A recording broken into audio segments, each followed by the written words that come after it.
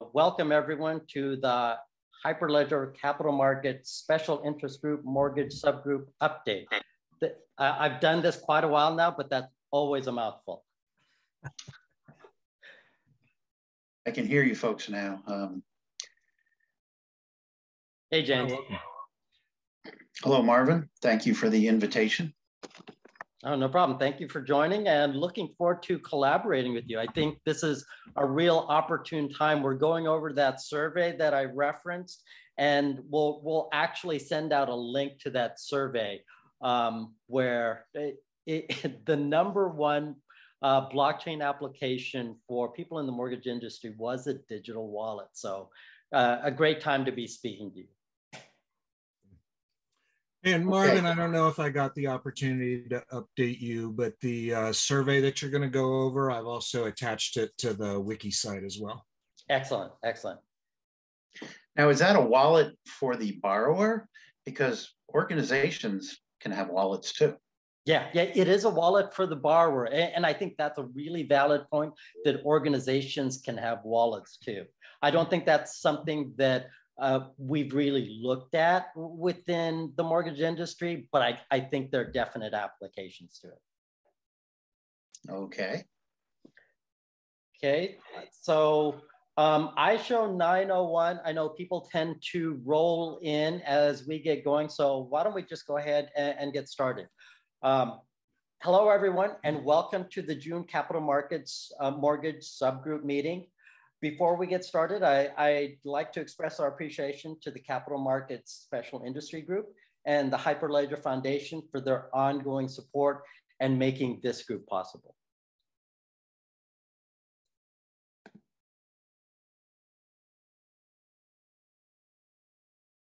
As always, please note that this meeting is being recorded and is under the umbrella of the Hyperledger Foundation. So we ask that everyone abide by the antitrust policy, which we're sharing on the screen now, and the code of conduct.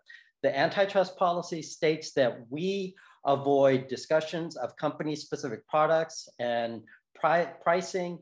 We don't make negative remarks about other companies or products. And the code of conduct means that we treat each other with respect never discriminate, and communicate constructively.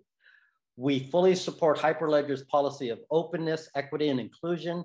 And for new participants, we welcome you. And if you'd like to introduce yourself on the chat, please do so. And if there are any areas of interest you would like to discuss, please let us know through the chat as well. So welcome everyone. Here's our agenda for today. We've already gone through the welcome and uh, meeting and housekeeping. I have a brief PSA on Hyperledger uh, community information. We'll go through the state of the blockchain in the uh, global mortgage industry. James Hendrick will walk us through that. We'll do a deep dive on the Fannie Mae survey. How will blockchain shape mortgage lending? And then we'll talk about future agenda topics. We always cover this slide in each meeting, and this is to reinforce that we're all on the same blockchain path, but we may be at different points along that path. Um, this approach is intended to make sure that we help everyone on their blockchain journey, demonstrate the feasibility of blockchain technology through mortgage industry use cases, and define potential implementation paths for the mortgage industry. Okay, just a brief PSA in the capital markets sake. A proposal was submitted to change the name from Capital Markets Special Industry Group. I think people are leaning towards the financial services name. So as things get more finalized, we'll communicate this information as it becomes available. But I just wanted to let people know. The next three slides I always mention are for those that are new to the group or would like more information. This slide provides links to different resources for the Hyperledger, excuse me, for the Linux Foundation, the Hyperledger Foundation, the Capital Markets uh, Special Interest Group, which we fall under, the mortgage subgroup here, second from the bottom, and our Hyperledger Wiki. The mortgage subgroup link contains notes for our group, recordings from previous sessions, and curated articles about blockchain in the mortgage industry. These are great resources and we'll reference several of these during the course of our presentation. If you want to access these resources, you will need a Linux Foundation ID or LFID. So this slide will walk you through how to get that. For those of you that are new to blockchain, here are some links to free blockchain training that's offered by the Hyperledger Foundation. I've gone through these uh, and these are fantastic resources, so highly recommend. With that, I'll turn it over to James Hendrick, who will walk us through the state of the blockchain in the global mortgage industry.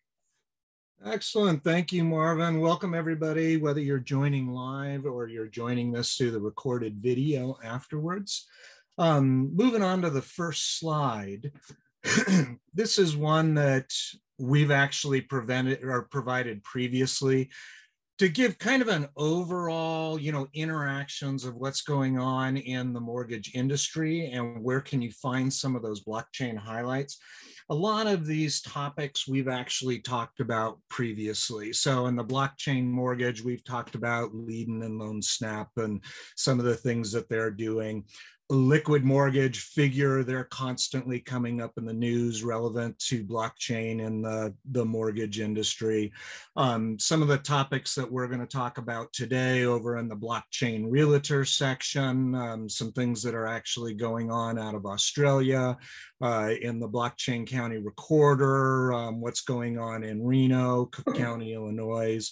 But we just wanted to give this update. It's been a couple months since we've actually shown this slide and as as we're gathering more information and identifying more and more companies, we're going to continue to update this and show this, but it really kind of shows those interactions and the number of organizations and companies, whether they're GSEs, whether they're individual companies that are actively starting to get involved in blockchain and Web3 technologies. Moving into the global arena. Oh, yeah, Angel, go right ahead. Yeah, good morning, everybody. This is Angel Alban. I just wanted to comment a little bit on this slide because if you were to rewind to when we started to put this thing together, uh, probably about this time last year, there was probably one or two pins on the map. So in just a short period of time, you know, we have activity in almost every sector or every part of the value chain uh, for mortgage, um, not just on a global scale, but in the US as well. And that is definitely exciting, right? So the industry is uh, watching, the industry is investing. Um, there's different levels of, of maturity in terms of the blockchain uh, capabilities that are being offered. But one of the things that we're going to be doing, and we're actively working on this right now. So if you are listening and you are a blockchain service provider, uh, feel free to reach out.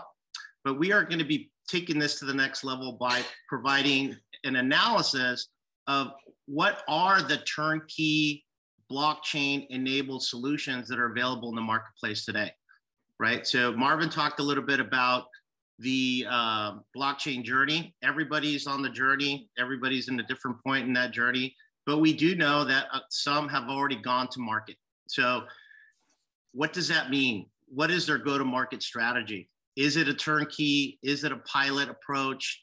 Is it uh, what type of integrations are going to be required? Um, what, what does that look like?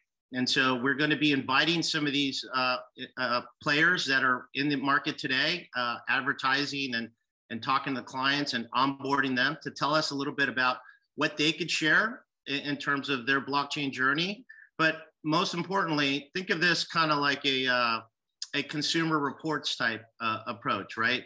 So we're going to talk a little bit about this later in in in, in the um, in the meeting here, but you know, there's thousands of financial institutions out there.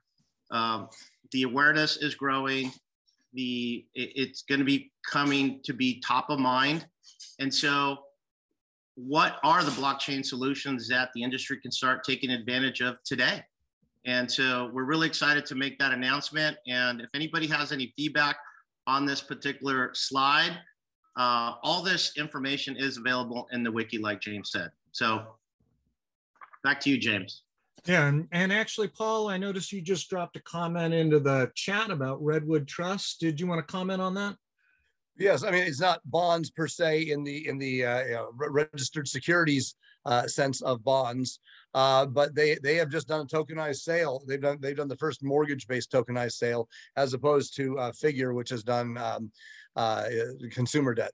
Um, but so there actually has been um, a more, yeah, the whole, the actually calling it bonds, I, I would say I, I, probably wouldn't call it bonds. I would call it, uh, uh, you know, tokenized or fractionalized sales instead of bonds on this on this slide because that that's what you're not going to see is you're not going to see uh, well maybe you will it, but but seeing blockchain applied to bonds instead blockchain will be applied to something that's going to replace bonds tokenized sales yeah, that's great information. Thanks for sharing that.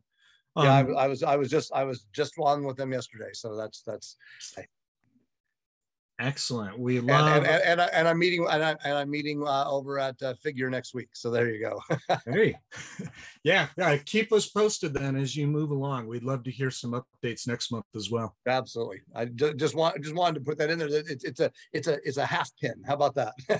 there you go. Marvin, if we can go ahead and move on to the global slide. So, you know, here's an update of that global timeline. Again, these are topics that we've been talking about in each one of our monthly meetings. You can find information for each one of these actually on the wiki site. Um, you know, the two new ones actually we're going to talk about today are coming out of Australia. I, it was funny, I kind of noticed over the last couple months that we have pretty much covered blockchain activity from the global perspective out of every continent on the planet now, except for Australia and Antarctica. So I wanted to make sure we gave our Aussie friends an opportunity to show what they're doing.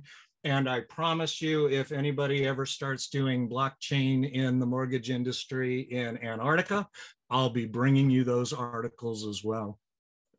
Marvin, let's go ahead and move into the next slide. So let's start out with coming out of Australia, um, Melbourne-based um, Matthias Group. They develop in new technologies, Web3, blockchain, systemized automation, um, looking at technologies that could increase the efficiencies in the mortgage process. Their company actually matches up businesses with lending technologies across commercial mortgages, vehicle financing, government grants, just to name a few. They do foresee that the landscape is going to significantly alter over the next 12 months, and they're heavily urging brokers to increase their understanding of these new technologies. Among many in the financial industry, who the, they are among many in the financial industry who are predicting a rise in investments in blockchain technology and leveraging Web3 applications in the near future. To give you guys some context, in Australia, mortgage brokers are required to get lawyers involved from both the buyers and the seller side, along with valuations and quantity surveyor reports. Then they work with the funders who actually underwrite the deal. When all sides are in agreement and that the information is accurate, that's when it officially becomes locked into the blockchain and the funds are released. The Matthias Group is exploring how blockchain technology will be positioned for debt and transactions in the real estate industry in the future, and how blockchain transactions could look through tokenization, debt and transactions, um, and digital debt offerings, along with the utilization of smart contracts. So uh, a great article to see what they're doing. Also coming out of Western Australia, the Real Estate Institute of Western Australia, or REIWA. They're bringing compulsory or compulsory professional development blockchain uh, blockchain training to the Western Australia real estate professionals. So similar to continuing education that we have here in the US, CPD training is designed to increase the knowledge, skills, and professionalism of those working in the real estate industry, uh, along with um, those that are in the business of brokering. The courses give students an overview of how the application of blockchain technology can assist property management, buyers, sellers, and tenants. They kicked off this program at the beginning of the year, and to date, they've already had 210 real estate professionals that have gone through the training, and an additional 255 sales representatives that have attended blockchain tokenization training as well. Uh, REI WA CEO Cath Hart has been noted as saying it's essential that the real estate profession adapts and evolves with the changing technology environment to ensure that the agents can cater, cater to the changing needs of the clients.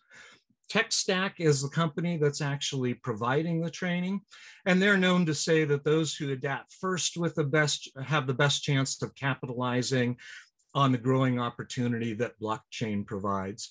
I, I found both of these articles to be very significant because it's very much in line with the message that we've been carrying amongst this organization here get out there, you know, getting education. As you saw from two slides ago, the number of companies here in the, the US and abroad that are actively getting involved with blockchain in the mortgage industry is rapidly increasing. And while, you know, we as an industry are usually fairly slow adopters when it comes to new technology, blockchain is going to be a game changer in our industry and if you're not taking the opportunity now to to educate yourself to learn about these technologies to find out what direction companies are heading you're, you're going to find yourself set up kind of behind the ball over the next 12 to 24 months Moving a little bit closer to home, let's take a look at the US uh, industry. So again, our updated timelines. All of the items in blue you'll be able to find on our wiki site. Uh, these are articles that we have covered before. Some of the stuff that I'm going to talk about now, it's going to be coming out of Reno, as well as some updates from the uh, MBA Secondary and Capital Markets Conference that occurred in New York City. Uh, next slide, Marvin. So the biggest little city in the world is starting to develop what they're calling the biggest little blockchain. So Reno soon is going to launch a pilot project this summer where the city's historic registry will be transitioned to a blockchain platform. The portal, which I mentioned, has been dubbed the biggest little blockchain. It's going to allow both the public and city staff to be able to access historic registry records when launched this summer, it'll allow the public to view every transaction recorded in the historic registry process. And the city leaders are touting that it's the first city run and resident focused blockchain platform in the US. I do want to mention um, Cook County, Illinois, they're also looking at putting property deed records on a blockchain as well. So we are starting to see this a little bit more. We previously, in uh, a couple or a couple months ago in our sessions, we talked about Riverside County and what they're beginning to do with title on the blockchain. Prior to the pilot, and I'm sure those of you that have been in the industry a long time will appreciate this, all of the historic register data for the city of Reno literally has been kept in cardboard old banker boxes sitting in City Hall. So if you wanted to access any of the information, you literally went to City Hall and had to sift through cardboard boxes. So if the pilot is successful, the program could be expanded to include records pertaining to maintenance work, permitting, licensing, a variety of different applications. And ultimately, it's going to allow the public to be able to view every transaction recorded in the historic registry process. The mayor of Reno has called this a potential game changer for government transparency to the community. Uh, James, if I could interject uh, on this Reno one. What's really interesting uh, about this situation is that the Reno blockchain pilot was developed by a company called Block BlockApps, BlockApps built Reno's solution using their Strato uh, blockchain platform, and they did that pro bono. Uh, I've reached out to BlockApps to see if they'd like to speak at one of our future sessions. I have a meeting with one of those guys next week, so stay tuned. We may be able to get some more detailed information. Yeah, great update, Marvin. Appreciate that. And then, you know, the very article or the very last article I wanted to cover today. So back in May at the MBA Secondary and Capital Markets Conference and Expo that took place in New York City, they had a panel discussion, which includes Seth Appleton, who's the president of MISMO, Lori Lori from Liquid Mortgage. We've actually had Lori on our uh, previous presentations. Um, David Fregal from Digital Assets at Western Alliance Bank, Fred Matera from Redwood Trust, and Christopher McKintry, who's the VP of Technology at ICE Mortgage. Um, this is a very similar group that also spoke at the MBA Tech Conference in Vegas back in April that we broadcasted from. Well, implement or some of the topics that they talked about as well implementing uh, blockchain across the industry definitely does come with challenges um, increased security and the efficiency that it adds provides value to the origination and securitization process. Fred Matera from Redwood talked about blockchain, how it could be used to further lower the cost of funds for borrowers, very similar to the way mortgage-backed securities did years ago. Um, we previously discussed the Redwood Trust and Liquid Mortgage use of blockchain. And, you know, Paul was referencing that a minute ago.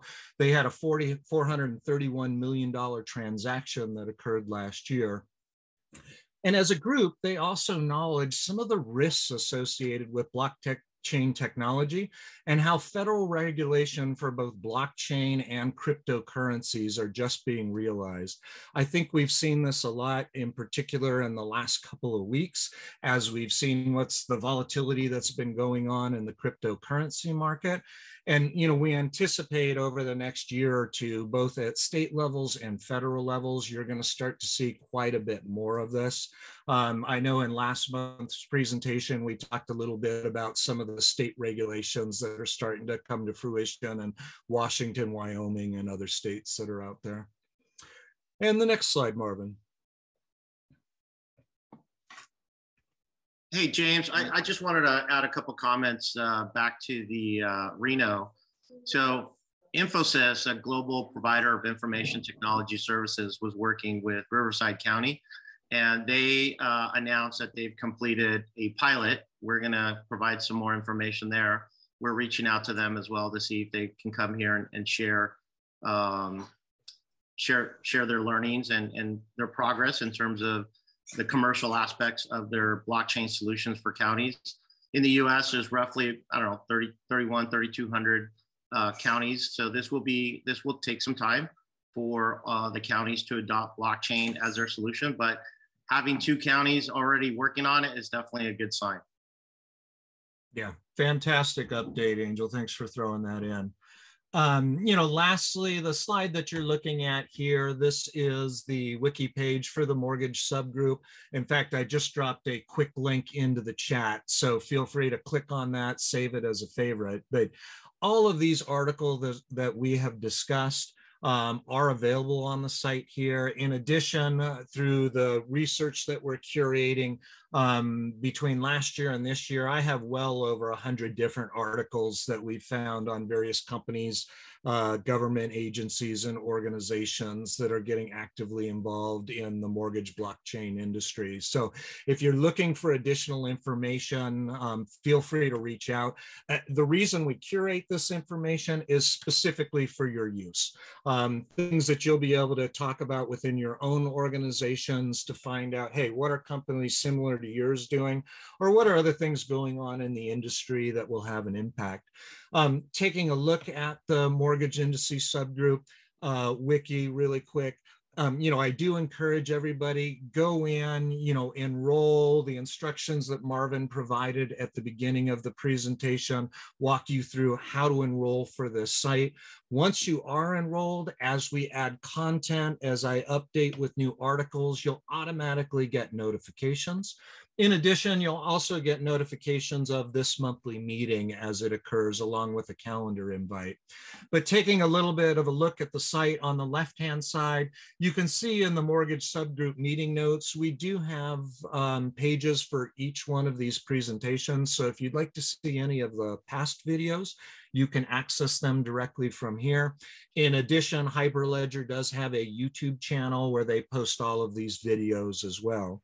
And then over on the right-hand side, you're going to have the industry research, some of the articles that I've been talking about, as well as other items that we've curated uh, along that list on the right-hand side.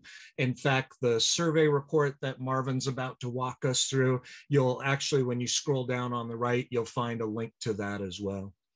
Um, again, feel free to reach out with any questions, ideas. If you guys are finding articles out there that you think would be valuable to this group, would love to have you send them along. We'll add them into our inventory.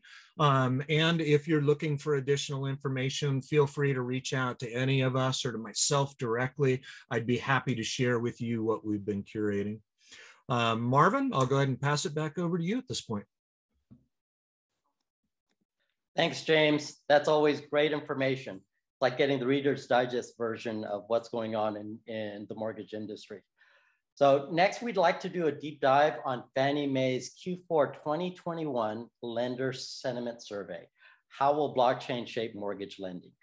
I'm going to spend the next couple slides going over the mechanics slash science of the survey, and then we'll do a deep dive into the findings and what they mean.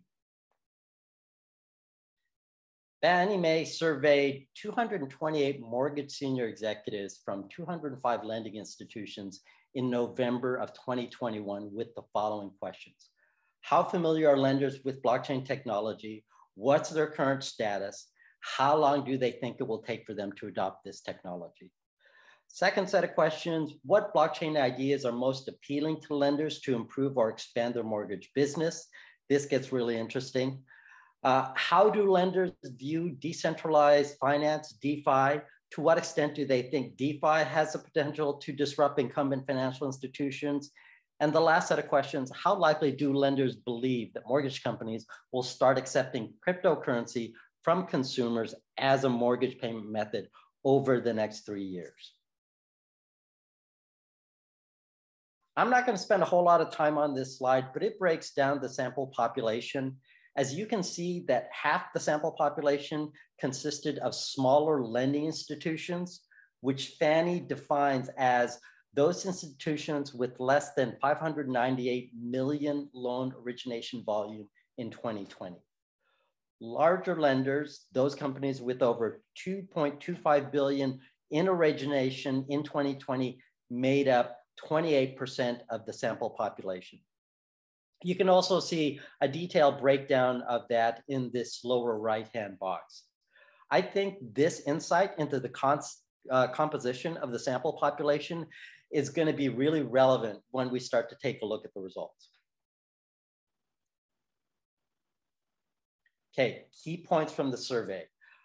I won't go into all of them, but I'll cover the most salient and then we can have a discussion uh, about anything else uh, or if people would like to provide their feedback on this. I, I think this is really interesting and I think why we're all here.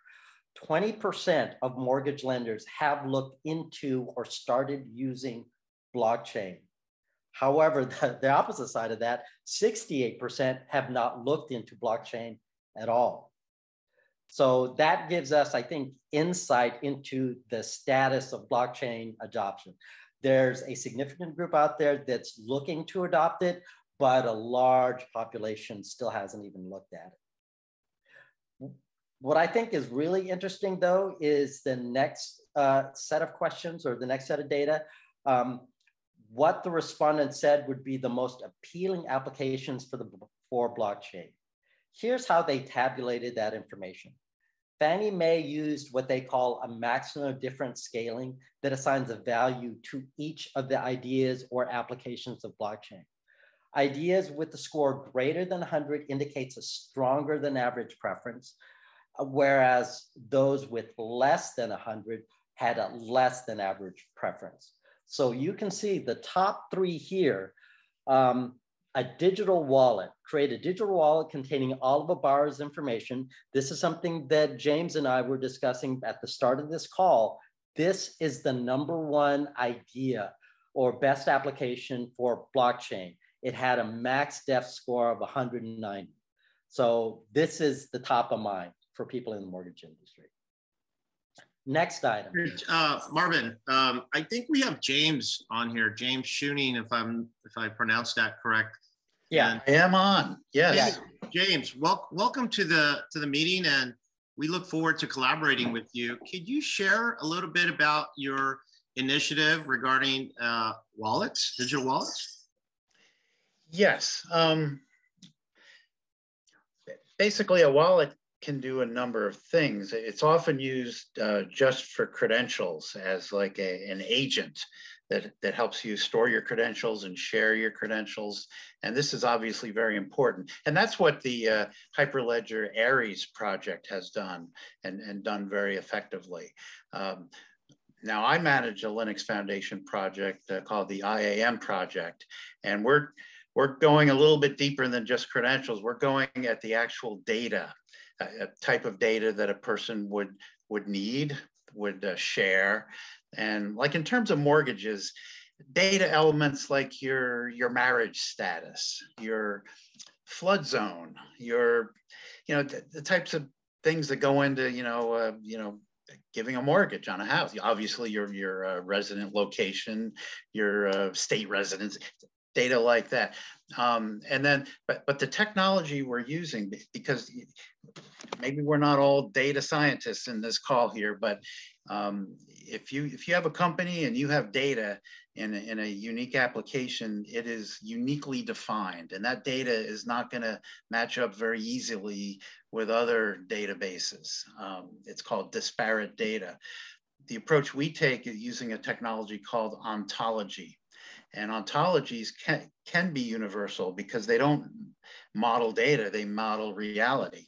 Um, and, and my colleagues and I have recently gained um, approval for an ISO standard top level ontology, and we're now standardizing a mid level ontology. And below that will be the domain ontologies, and mortgaging is, is a domain. So we could develop a standard ontology for mortgages. That means that um, all the key elements of data needed to, to, to handle a mortgage could, could be standardized. And then we transform data between unique applications and the common ontology. Now, the way the, the concept, the big idea with the wallet is, is that individuals should have a wallet with their own data and their own credentials, regardless of whether they have a mortgage or a house or ever plan to buy a house. They're going to have it anyway for, for all kinds of purposes. And if they already have a wallet, then they already have probably half the data they need already to apply for a mortgage and then we can help the individuals collect that data. So, and then once they have everything in the wallet then it becomes very easily easy to then approach different mortgage lenders because they already have standard data. And in fact the, the getting a quote could be automated in that that situation. So that's that's the big idea. And uh, uh, we're already looking at a use case for insurance so like if we're doing, and we're gonna be doing homeowners insurance, so that's probably most of your data elements right there. Um, so we'd like to um, collaborate with you guys and uh, we do, we are setting up a test bed environment and, and we could, uh, we could run a, a simple test or a simple tech demo to actually show how this would work. And James, uh, Paul just dropped a comment into the the chat, if you don't mind taking a look. You know, he's curious about how the wallet uh, will comply with GDPR and CCPA requirements. And yeah, and, and by the way, I do think that the ontological approach is is is uh, is definitely the better way for the data science management of this, but it doesn't address you know these these kind of more um, industry specific uh, uh, legal requirements. Yeah, and a lot of those issues we, we have not yet addressed either. I mean, we, we're not mortgage experts or financial experts. We, we are de- we are data integrators. um, but you see the cha- you see the challenge where where it's uh, very it's uh, having things. You know, first off, having that data, having those wallets be truly on chain, runs this this conflict with legal requirements. And and by those those legal requirements right now are just California and Europe, but I promise you it will grow. because consumers yes. want the ability to to go to be able to have their information forgotten. And and, and there the, is and the chain and the chain never forgets. and and personal data maybe should never be on a blockchain. That's a lot of the advice I'm getting from people. And there is an alternative called uh, yes. Keri K E R I. Um, I could put that on the blockchain. It it's uh, it still uses like a hash a hashtag, so so it's immutable, but it's not on a public blockchain that you know personal a person's data or even their public key mm-hmm. a lot of mm-hmm. people say should never be on the a uh, a blockchain that's out there um, yeah. so yeah, many challenges. Um, we're, we're focused on the data integration part. Yeah, Hey, James Paul, fantastic points because there's a lot of discussion that's occurring about what should be included on chain versus off chain. Thank you. Yeah, and, and I think uh, as we all realize that this is just start the beginning of the discussion and collaboration. And I'm sure these types of issues will be brought up and we'll be able to have really good discussions around them. But I know we've had almost religious discussions around what's on chain versus off chain. So definitely looking forward to the collaboration, James.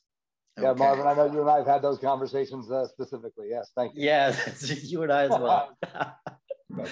okay, great. So let's keep going through this. Um, so the next two items um, under the most appealing ideas for blockchain industry are, are somewhat related. With a MaxDiff score of 145, um, people thought that having a blockchain-based title registry for search and validation, and then another kind of related, a digital property record.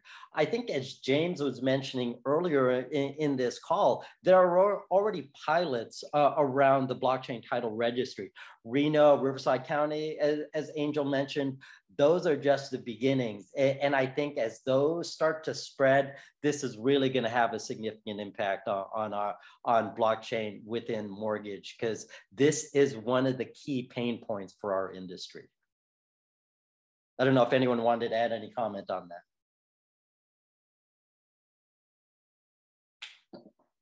Okay, cool. Why don't we go ahead and go to what was below the line? So as I mentioned, items that had a MaxDiff score of less than 100 were those which indicate a less than average preference. So surprisingly, with a MaxDiff score of 93, a loan marketplace, uh, a blockchain-based marketplace for buying and selling loans, but we know that those are already being built. So I, I think this is something that may just be due to uh, the population. Uh, next, uh, MaxDiff score of 81, leveraging blockchain to track loan performance and receive information after loan stops performing. So I don't know if this would have any type of mortgage servicing aspect to it. It, it probably does. And then the last item uh, with the MaxDiff score of five. So I, I, don't think anyone really is thinking about doing this with that score. Develop infrastructure necessary to accept digital currencies as deposits, payments, or collateral. So let me pause there and see if anyone has any comments or questions about these uh, blockchain ideas. Hey, Marvin, I, I just want to uh, comment that 20% of the industry has it, they're working on blockchain or they're researching blockchain? They are doing a combination of both. They really didn't differentiate between working on blockchain versus researching blockchain. Got it. Okay. Yeah. So to put that a little bit in perspective, right? So for those of you guys who are on this call and, and listening, uh, early adopters in any new technology represent two and a half percent um, and so right now we're probably less than, you know, 10 basis points of the industry actually uh, adopting, uh, being an early adopter. So we, we are, we are the early adopters in the room. So congratulations to everybody. Love that can do uh, attitude and, and, and the, uh, and how you embrace uh, new technologies. But, you know, this is definitely going to take uh, a lot of education, clearly defining the business problems and the value add and always keeping top of mind the the borrower and the user experience right? So just like in any project um, it adoption is what's really going to drive this. Absolutely. Back yeah uh, thanks angel. That those were fantastic points. So the the last set of questions had to do with what lenders thought about the potential for defi and crypto. 44% of respondents believe that DeFi has a very high or moderately high potential to disrupt financial institutions. But the, the kicker is the last one 60% of respondents believe that it's not quite likely, or e even worse, unlikely, that mortgage companies will be accepting crypto as mortgage payments over the next three years. So I think that ties with the last bullet in the section of above that uh, uh, infrastructure necessary to accept crypto got a MaxDiff score of five. So I think those two kind of reinforce each other. A lot of people don't think that there's going to be a lot of crypto um, activity within the mortgage industry.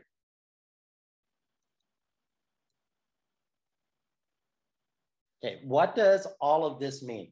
What Fannie Mae may derive from this survey were two recommendations that fall into what I call motherhood and apple pie recommendations. These are very straightforward and general recommendations that one can't really argue with. First, as we've been saying, and as a lot of people have been saying, educate yourself about blockchain and its potential in the mortgage industry. The fact that the people on this call are on this call or participate in previous calls, you guys are already taking that step.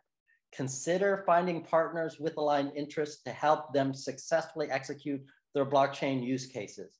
Again, we're trying to do this as a team, so you guys are, are following this step as well. And, and I think that that last point, as you start to deploy or as you start to do POCs, as we covered in our last meeting, that uh, should also be emphasized. Find partners for the POCs, do what other people have done to lessen the learning curve, follow the POCs that we developed, and then reach out to us if, if you need help getting those up and running in your own environment. It will make the path easier. Before I get into the next section, keep in mind that this survey was taken in Q4 of 2021. That was before the interest rate increases. I think this is a very different and more challenging environment. For example, as we were talking at the beginning of this call, Figure and Homebridge announced that they've canceled their merger. There was a Housing Wire podcast, which I highly recommend everyone listen to, where the Figure slash Homebridge merger was originally cast as a test case for leveraging blockchain at scale in mortgage when it was announced in 2021. They wanted to double productivity through Figure, offer different products to one another and demonstrate the viability of blockchain. And I think these are all fantastic goals, but they canceled their merger. So what does that mean? Also, the survey findings viewed through the prism of Figure and Homebridge's announcement may cause some people to question the viability of blockchain in mortgage. I don't think I'd go at that far, I think given the marketplace, mortgage companies are being more cautious and rightfully so. I think many of us on this call have been through a down cycle. You want to be more cautious, it, but it's also an ideal time to invest in technologies that will save money, make processes more efficient, and better position a company for the next upswing. Okay, I'm getting off my soapbox now. I'll turn it over to you guys. What comments, questions do you guys have?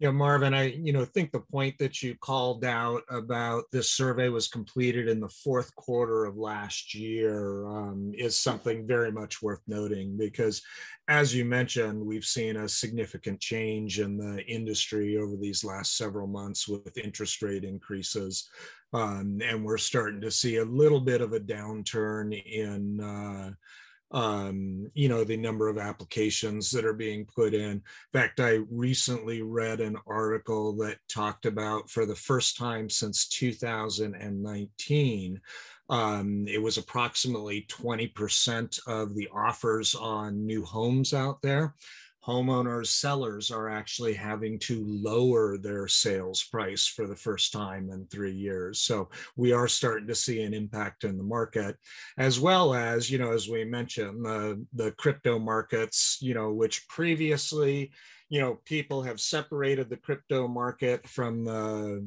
the stock exchange and saying, hey, it's not as volatile. It doesn't get impacted by trends in the stock market we've actually seen a little bit different experience of that here in the spring. And I think people are starting to rethink some of those approaches as well. Yeah, absolutely. And, I think everyone probably knows that the Fed is meeting next week, and there's probably going to be another 50 basis points increase that hopefully that's already priced into the marketplace. If not, well, that then I, I think originations will take another uh, step down. So uh, it, They it's are, they are, by the way, those, that, that is already priced in. I, I've been checking with, with every lender on it. okay. Well, that that's good to know. Okay, Or at least, or at least mostly, you know, it gets, it could still hit a, an uptick, but we're, we're, we're not gonna see another fifty bips. Okay, you don't think there's going to be not going to be another fifty point? Uh, Oh, no, I'm, I'm, I'm, In- I'm in saying, yes, no, I, I think the Fed will do the fifty bips. I don't, I think that, that, that, you know, you might, you might see a 10 10 bip uptick in, in mortgage rates. okay. Okay. I, I think most, I think most of that's already been factored in. People, people got very, very spooked you know, over, over the last two months. Yeah, there was also another interesting article um, uh, by Larry Summers. I, I think he was the former Treasury head. He says that the Fed is not correctly anticipating uh, inflation, that they're not being aggressive enough. Um, it, it was a real interesting article. If I can get a copy of it, I'll, I'll send it out to this group. But Larry Summers, he's been very prescient about interest rates in, in the past. And for someone of that magnitude to say we're not being aggressive enough uh, on inflation, it, it, it's a little concern. It is. Um, I'm, I'm meeting with uh, Teresa Bryce Bazemore um, over the weekend, and she's the president of the San Francisco Federal Home Loan Bank. And that's where I'm getting a lot of my industry information. Okay. So I, I think, she, you know, grant, granted, she only covers you know the western part of the U.S., Nevada, uh, Oregon, California, whatever. But but she has she has pretty pretty good ear to the track. Yeah, I, I would definitely say so. If there's any uh, guidance or information you can give us after your meeting, that definitely be welcome. But always appreciate the feedback and input, Paul. Absolutely, thanks. Next item, future agenda topics. Uh, we always ask for people for feedback on future meetings, and, and we're definitely starting to get that. Our next subgroup meeting is in July. So uh, at the July subgroup meeting, I've spoken with Jim McCoy at Blockdaemon. He's going to be introducing the distributed uh, finance or DeFi subgroup. So uh, I'm not sure if he's on this call, but he's reserved for July. And then uh, Will Gessner uh, from Ranieri Solutions is on the call or was on an earlier call, uh, earlier part of today's call. He's going to be talking about blockchain and mortgage servicing in August. And James, uh, thank you for joining us. Maybe uh, you're someone that can speak uh, in detail about what you're doing on one of our future mortgage subledger calls. And Lucas, I noticed you popped off mute just a little bit ago. Was there something you wanted to contribute?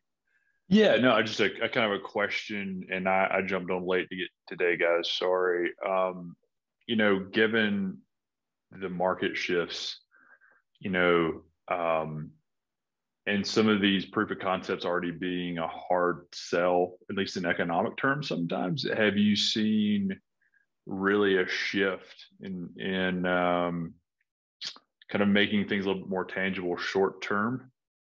as far as the benefits of some of these you know proof of concepts that people are building or is it still more focused on i guess uh, larger changes and, and i guess an example that would be you know i mean like you see people handling like loan remittance on blockchain but you don't really see uh, i don't see there's a high volume of loan transactions actually happening from a trade perspective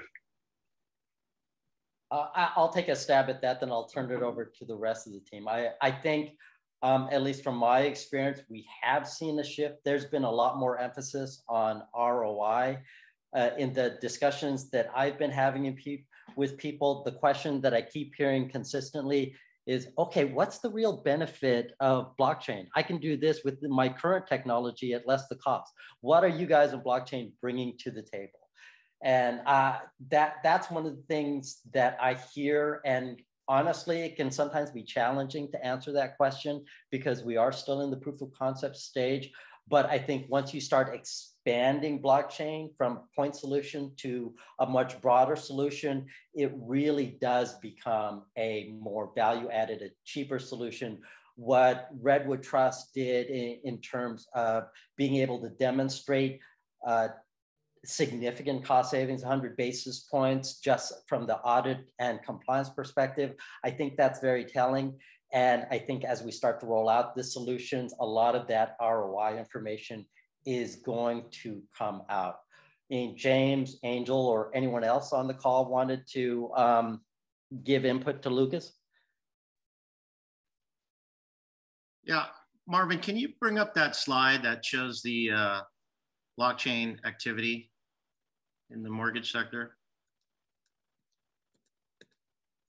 Yeah. So Lucas, I don't know if you were in the meeting when we discussed this slide, but based on the folks that we're talking to and working with at, at several levels, um, and, and the industry going through a, a very difficult time right now, there's um, there's there is interest, but what the industry doesn't know is what are the turnkey solutions that are available today?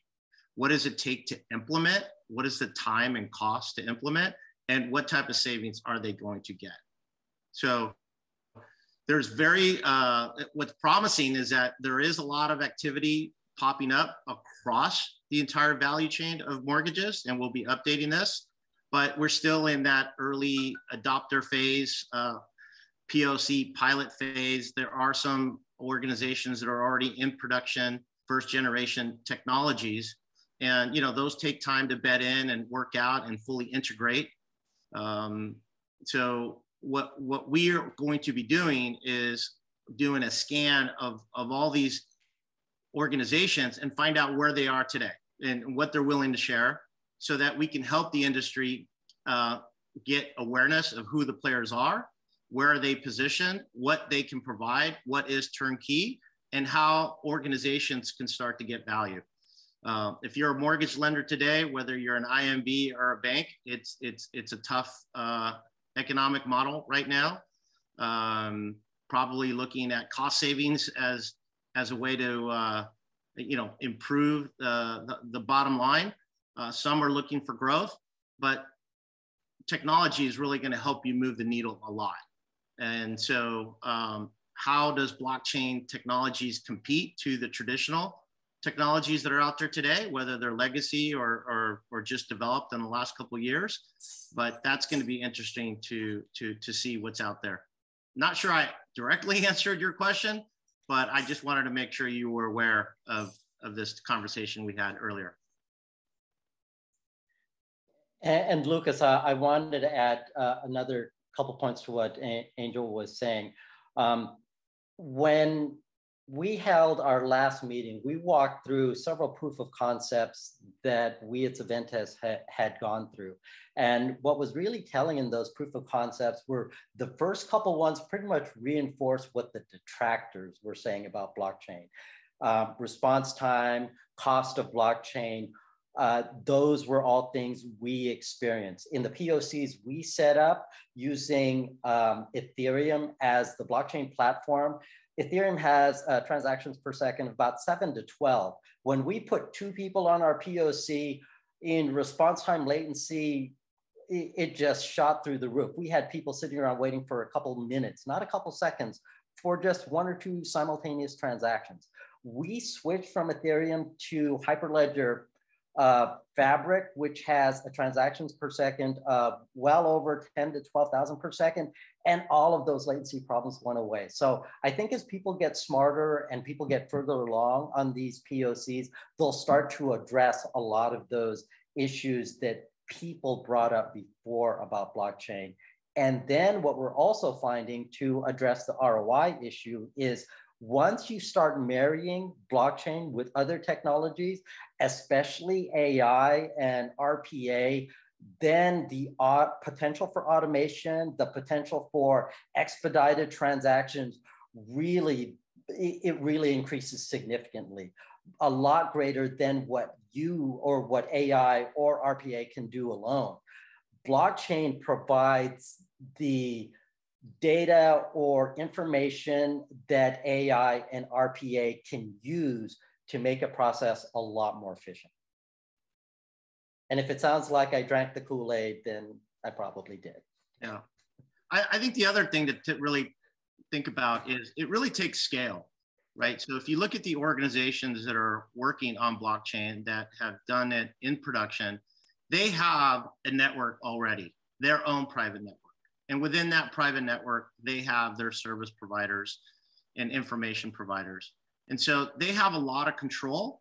And so within their organization, they're able to rationalize the cost benefit analysis and the investment in blockchain and you know take an experimental approach right so uh, redwood trust took it to the next level with an actual securitization of loans that use blockchain technology to help um, perform due diligence on, on, and prepare those loans for securitization right so um, and you know they're a pretty big player Liquid Mortgage is part of them, right? They have resources and investment and teams dedicated to this.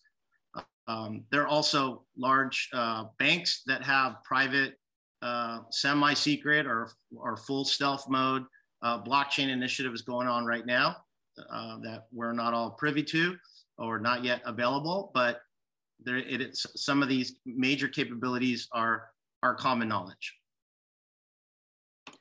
And the last point I want to add, that's why I wanted to share the sample population information so that as you take a look at this, and I highly recommend that people take a look at the actual study from uh, Fannie Mae. It was the larger institutions, the larger banks, the larger depository institutions that were further along in the blockchain journey and, and also that had a more positive view uh, of blockchain because they had experienced it. And to Angel's point, they have the wherewithal, the financial capital, uh, the balance sheet to be able to support this type of technology and experiment with it.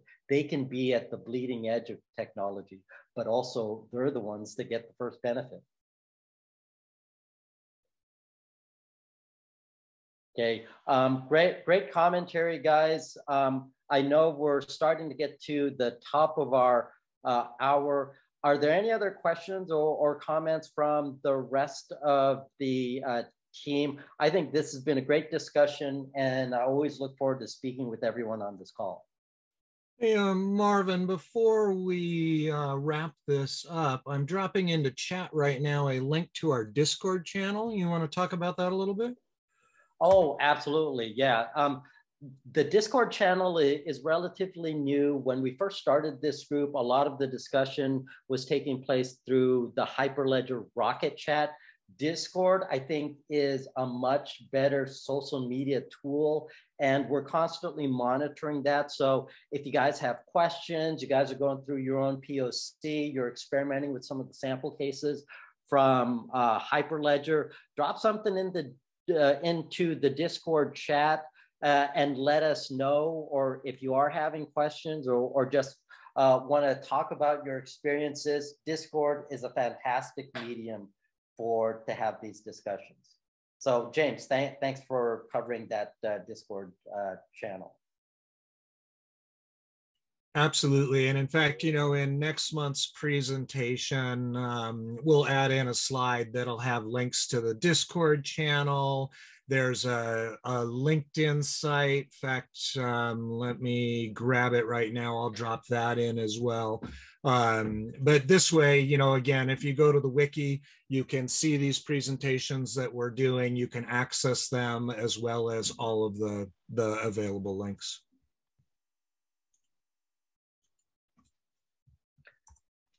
Hey, guys, uh, any other questions or comments? I've got to go, but Marvin, thank you. Was a, that was a great meeting. Very, very, very productive, I thought. Thanks, Paul. I appreciate the feedback. Always uh, love hearing from you. Uh, likewise, I'll give you a call. I'll give you a call uh, next day or so. Okay, cool. Thanks, man. Okay, everyone, that brings us to the end of our call. Great conversation. This recording will be made available on the Hyperledger YouTube channel and also the wiki within the next day or So once we're able to convert it to the right media. Okay, with that, thank you, everyone. I appreciate the time. Have a great rest of your day.